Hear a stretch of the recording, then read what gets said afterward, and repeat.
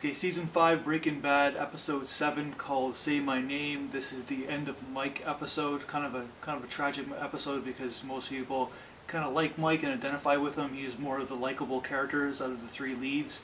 Uh, so the, the, the showdown between Mike and Walt, and you kind of have an inkling that Walt's going to kill him which which will take Walt to, to another level, a whole other level, like arguably speaking.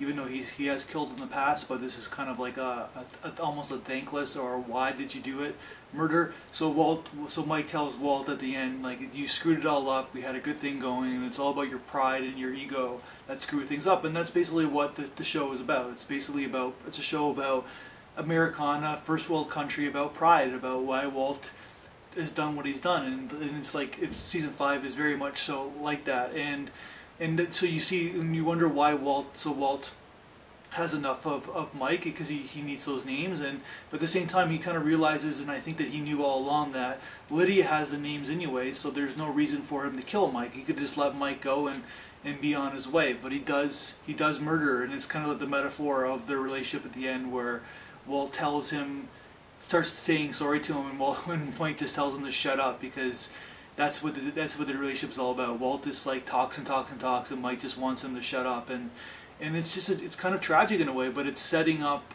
like obviously the season finale, the episode finale, the next episode, and you and you wonder what's going to happen with Jesse too because Jesse's gone and and but everything's up in the air, and it's kind of a kind of an amazing season in a way. So that's my review.